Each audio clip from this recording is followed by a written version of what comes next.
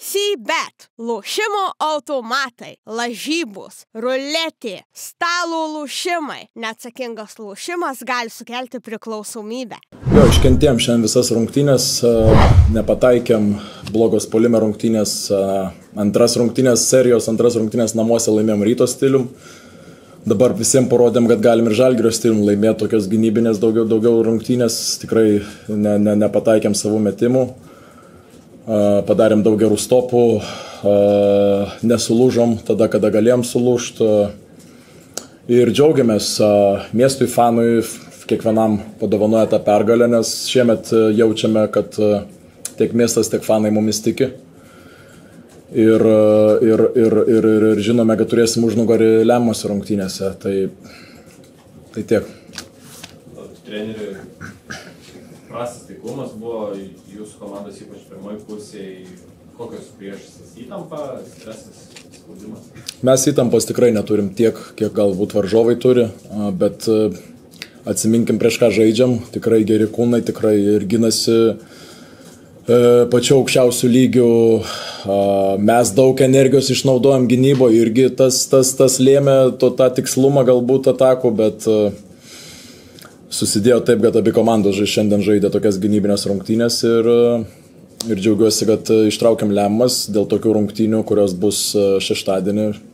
Manau, žaidėjai visi, visos komandos treneriai, fanai ir gyvenam. Ką pasako apie komandą tokios rungtynės, visas rungtynės atsiliekat ir vis tiek sugebat laimėti? Atsėmiau žodžius visus apie charakterį mūsų kažkur minkštesnį, rūbiniai po rungtynių tikrai, tikrai nusipelnė žaidėjai labai daug gerų žodžių šiandien. Vienu metu tikrai pradėjom vos ne pirštais viens į kitą baksnuot, bet vėl per, sukastą, per tuos sukastus dantis, per negaliu. Matėm, kad šiandien ir, ir, ir, ir Žalgiris nepataikė, aišku, mūsų gynyba tą irgi diktavo, bet daug ką pasako, pasako, kad šita komanda stengsis laimėti ir penktas rungtynės.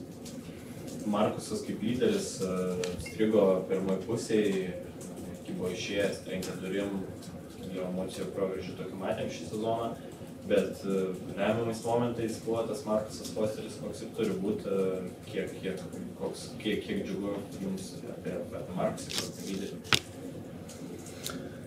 Šiandien reikalavau prieš rungtynės iš žaidėjų, kad yra labai daug būdų, kaip būti lyderiu, ne tik taškais, bet milijonas kitų veiksmų, kaip galima jo tapti. Ir, ir, ir manau, tų lyderių šiandien turėjom, ne tik Markusą. Ir neturiu daug ką pasakyti iš tikrųjų, jeigu taip atvirai.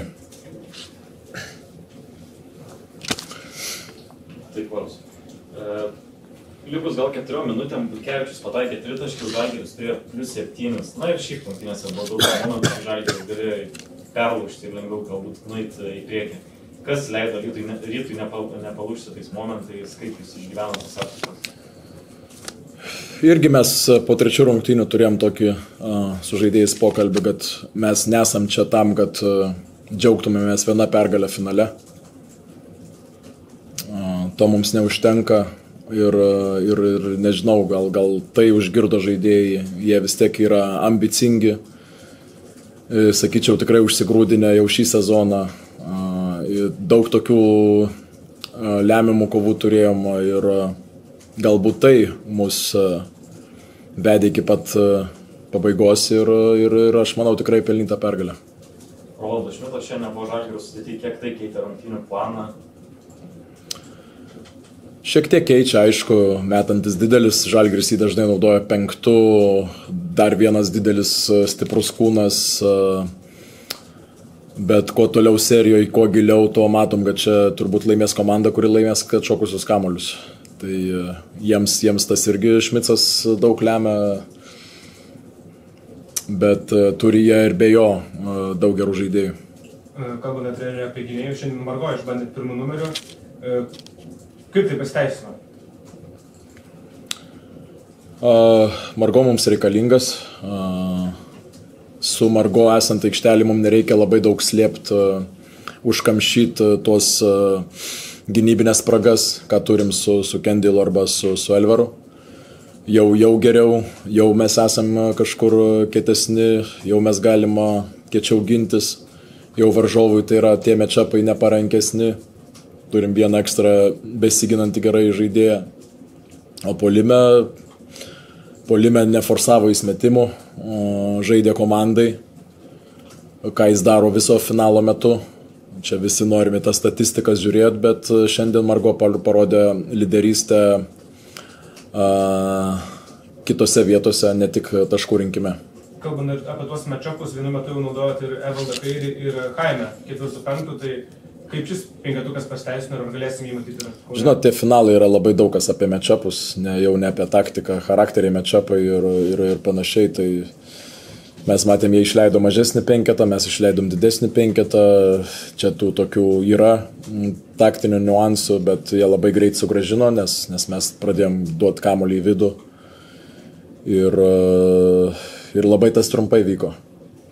Bet tokią idėją turim ir galbūt ją panaudosim dar kažkada. Treneris šiandien Ignas Brazdeikis tapo X faktorium, kas nepavyko stabdyti. Pasikartosiu, jie turi daug gerų žaidėjų, mes visus nesustabdysim. Vieną kartą vieną sustabdom, kitą kartą kitą sustabdom, prisėmam vienokias rizikas ir, ir, ir jas duodam. Ignas geras žaidėjas ir, ir, ir tą šiam parodė, išlemiamais momentais tikrai traukė komandą.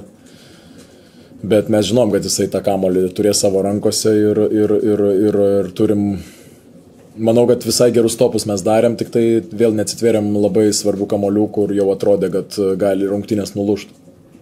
Nu, reikia rytui, kad laimėtų Kaune. Su pirma, mėgauti žaidimu reikia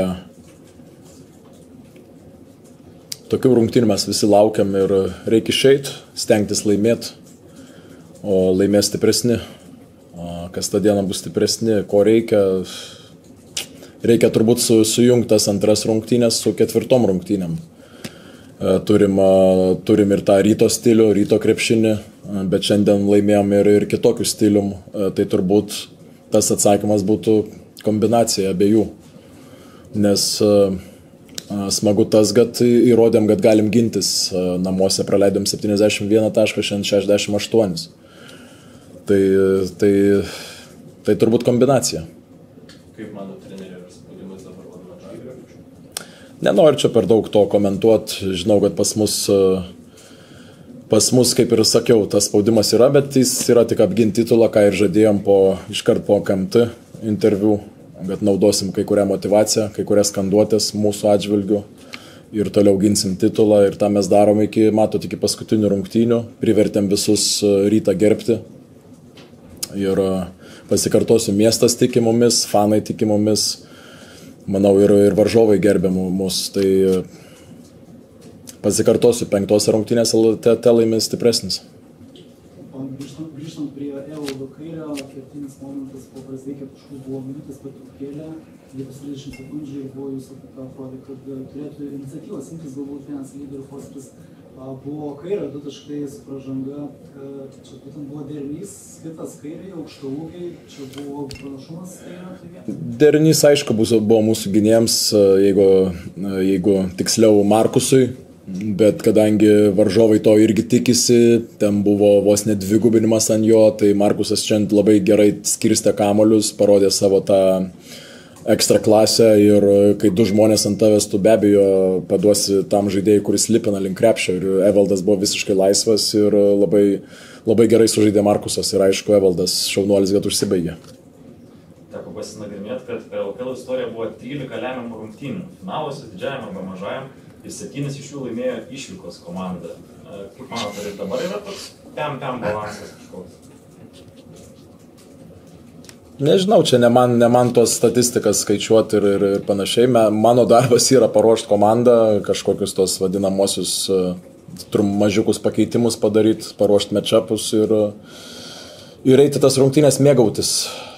Mes negalim būti drovus tose rungtynėse, nes du kart žaidžiam, žaidėm droviai tenai ir tas nepasteisino. treneri keletą žodžių apie Čenikę, kas jam padeda dominuoti prie Žalgirio atsaktrus šį vakarą. Uh, norime čia Nikę visą laiką naudoti ant to pausto, vis tiek jeigu mes tokį kūną turim aikšteliai, mes norim ir, ir, ir, ir tą kamolį įvesti, jis turi visokių būdų užsibaigti, jis labai daug investuoja į save, į savo skilsus, įgūdžius tos vadinamus ir, ir, ir tikrai talentingas žaidėjas. Žalgiris bandė vienose rungtynėse ir viens prieš vieną gintis, kitose ir, ir padvigubinti, turim, turim išeičių iš abiejų, iš, iš abiejų padėčių, tai bandom, bandom ieškoti tų kelių link krepšio ir per didelius, kad šiek tiek nebūtume taip nuspėjama komanda vien per gynėjus žaidžianti. Tai labai mums padeda Jaimės buvimas aikštelėje, ypač polime. Gal galite paaiškinti, kaip vyko paskutinės dvi etapos ir jūsų kaip posteris įmetė pergalingus taškus ir koks buvo gynybinis planas, ką, ką, ką turėjo minėti prie žalgių paskutinį etapą? Polime, polime planas buvo žaisti per Markusą ir uh, tikrai Markusas šio sezono metu nusipelnė tokio statuso, tokiuose rungtynėse turėti kamolį.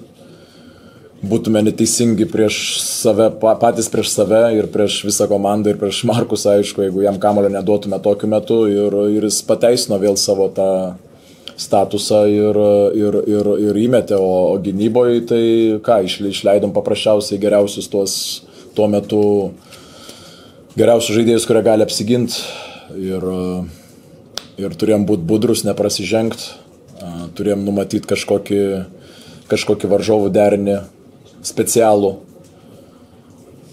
ir, ir, ir, ir tiek. Tiesiog gerai susikeitėm ir, ir, ir, ir, ir geros buvo rankos ir žalgiris nerado metimo. Sybet, lošimo automatai, lažybos, ruletė, stalo lošimai. Neatsakingas lošimas gali sukelti priklausomybę.